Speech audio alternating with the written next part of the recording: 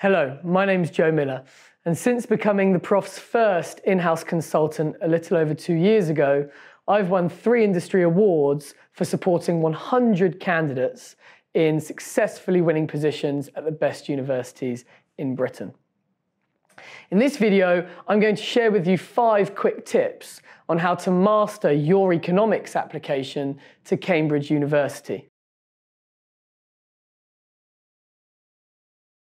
First things first, though, we must talk about a couple of strategic points when it comes to applying to Cambridge.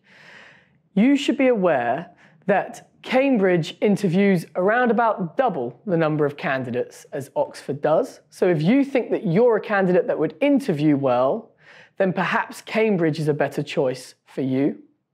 Second of all, when it comes to economics at Cambridge, there is far more emphasis on your mathematical ability in comparison to Oxford's E&M, PPE, or even history and econ economics course. Therefore, if you are great at further mathematics and you interview well, this could be strategically the best course for you. On to my five quick tips on how to master your application. The first tip I have is that your personal statement needs an identity. What do I mean by this? You need to have a certain intellectual curiosity that comes into your personal statement right at the beginning and that is rooted in the course that you're applying to.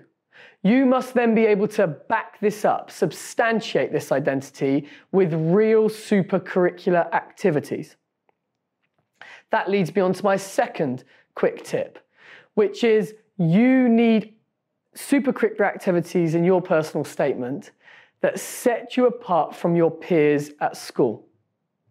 With 68% of Oxbridge students now coming from state schools, it is simply not enough to rely on those activities that your school are organising for you, even if it's an EPQ, an IPQ, or an essay competition. You need to go above and beyond to set yourself apart. My third quick tip is that you need to keep abreast with the developments in your research area. So many schools tell their students to subscribe to The Economist or read the Financial Times. It's simply not enough to know what's happening in the current economy. You need to look up your course, look at the structure of your course, and look at the professors who are teaching you. What is their current research? What papers or books have they published in the last 24 months? Read those instead. It will make you stand out. My fourth quick tip actually was given to me by my old professor at Oxford when she was in the process of reading personal statements. And that is when you write a personal statement, you should treat the admission professors as if they are omniscient what does that mean? You should pretend that they know everything when it comes to the subject, subject matter on your course, in this case, economics. So don't waste valu valuable characters summarizing books or defining arguments in the third person. Tell me in the first person why that book or that lecture or that research project interested you. My fifth and final quick tip for mastering your Cambridge economics application is to keep it real. So many candidates try to sound more clever than they are, citing complex theories and methods, when actually the professors reading these personal statements are not interested nor are they impressed by this. Instead, focus on two things. What is your intellectual curiosity? And what are the skills that you hope to gain from this degree? Tell the professor this in plain English. A nice test that I like all of my clients to run is when your personal statement is finished, put it in the hands of somebody that doesn't know much about economics.